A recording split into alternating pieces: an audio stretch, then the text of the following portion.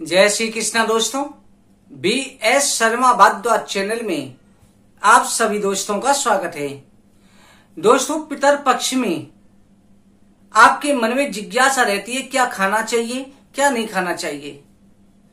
आजकल यूट्यूब पर अनेकों वीडियो आपको देखने को मिलेंगे, जिनमें बताया जाता है कि क्या खाना चाहिए, क्या नहीं खाना चाहिए, क्या करना चाहिए, क्या नहीं करना चाहिए।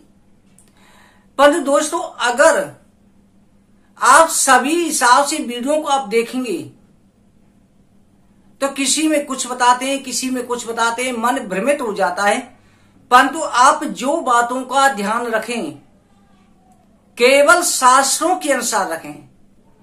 शास्त्रों में जिस चीज़ की मनाई की गई है, उस चीज़ का रखना चाहिए। ज़्यादा भ्रमित होने की आवश्यकता नहीं है।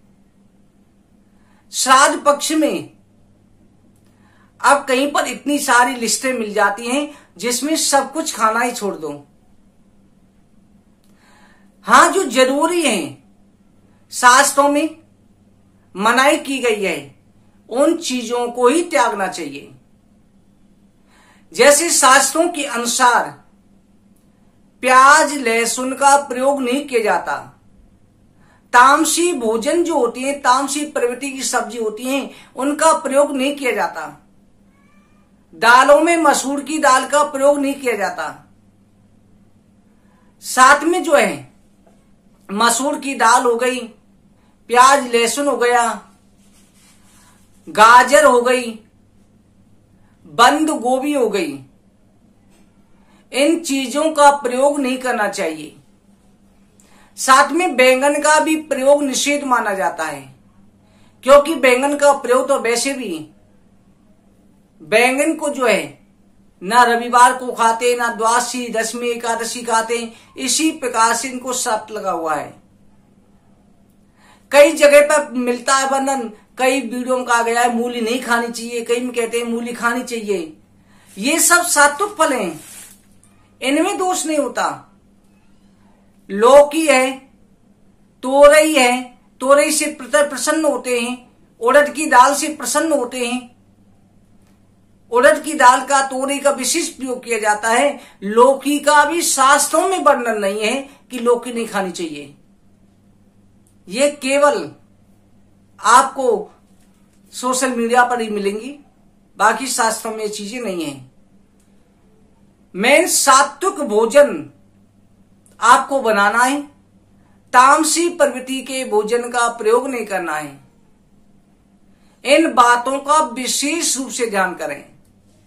हाँ, उड़द की दाल जो है, दूसरे के घर की नहीं खानी चाहिए। दूसरे के घर की उड़द की दाल का प्रयोग ना करें। बासी भोजन का प्रयोग ना करें। और साथ में जो है अगर आप झूठे हाथ से स्पर्श कर लेते हैं, उस वस्तु का प्रयोग पूजा पाठ में पितरों में नहीं होता। आप सिद्धा भाव से जो भी वस्तु पितरों के लिए अर्पित करते हैं, उसमें आप एक बात का ध्यान रखें कि भगवान की निमित्त अर्पित करके तब पितरों को भोग लगाना चाहिए। जहाँ पितरों का साध कर रहे हैं, वहाँ अगर तुलसी का पत्ता या पौधा रख दिया जाए तो पितर मुक्ति को प्राप्त हो जाते हैं। इसलिए दोस्तों, आप पितरों की पूजा करें, पितरों को सात्विक भोजन कराएँ, तामसी भोजन प्रयोग ना करें। मसूर की दाल, प्याज, लहसुन, बंद गोभी, गाजर सलगम इन वस्तुओं का त्याग करें। बाकी और चीज़ों में इतना नहीं है। जो शुद्ध सात्विक भोजन है, उनको आप अपना सकते हैं। विस्तार से तो इतने सारे व्यंजन संसार में होते हैं, सभी की एक एक की जानकारी दें तो बहुत ज़्यादा विस्तार हो जाता है।